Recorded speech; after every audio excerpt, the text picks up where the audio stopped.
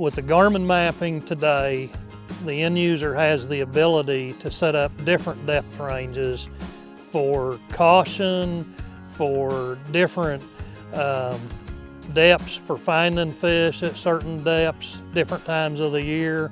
And I actually have a system that I go through to set up four colored depths on every graph. We're gonna go into uh, chart and depth. And here, we're actually gonna go into our depth shading. Okay, and we're gonna set up a new depth range. Okay, and again, um, I'm gonna do my first depth range first, and I'm gonna make that color be red. I'm gonna do the minimum depth on that range to zero. Then I'm gonna do the max depth to that at zero, five. So what we have is the red color is gonna note uh, zero from five foot range on my depth.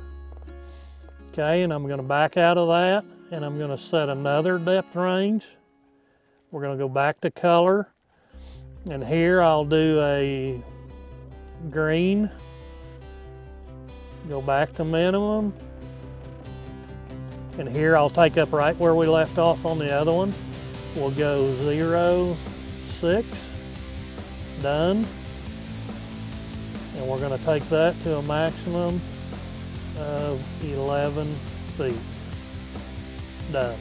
So this one's gonna give us a range from six to 11 feet. Back. We're gonna set another one.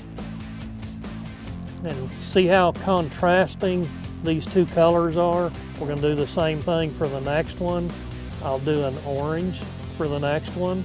So we're gonna go our minimum depth here, is going to be 12 foot and our max is going to be 17 feet. Done. Okay. What that gives us is 0 to 5, 6 to 11, 12 to 17. We'll go ahead and do one more depth in here. I'll make it be yellow and we'll go 18. And this one I'm gonna set a little wider span on it. We'll go up to 25. Okay, so if I wanna see everything I have, right here they are. And it shows me how contrasting those colors are to each other and exactly what the depth is on them.